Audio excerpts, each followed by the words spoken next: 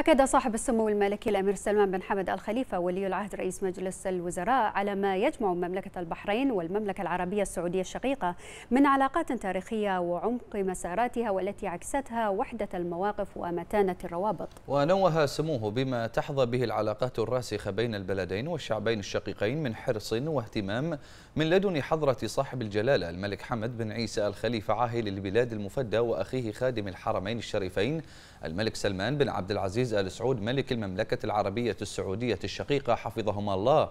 جاء ذلك لدى لقاء سموه حفظه الله اليوم صاحب السمو الملكي الأمير خالد بن بندر بن سلطان بن عبد العزيز سفير المملكة العربية السعودية لدى المملكة المتحدة. لدى زيارة سموه جناح المملكة العربية السعودية في إطار مشاركته في المؤتمر السادس والعشرين للأطراف في اتفاقية الأمم المتحدة الإطارية بشأن تغير المناخ كوب 26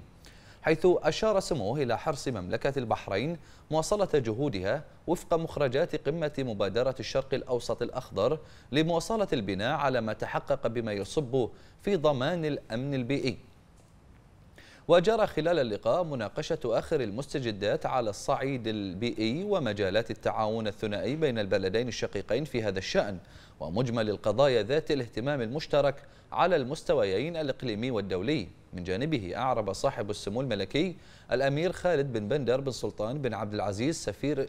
سفير المملكة العربية السعودية لدى المملكة المتحدة عن شكره وتقديره لصاحب السمو الملكي ولي العهد رئيس مجلس الوزراء على ما يليه من حرص واهتمام بتطوير العلاقات البحرينية السعودية والدفع بها نحو مجالات أوسع بما يحقق النماء والازدهار للجميع.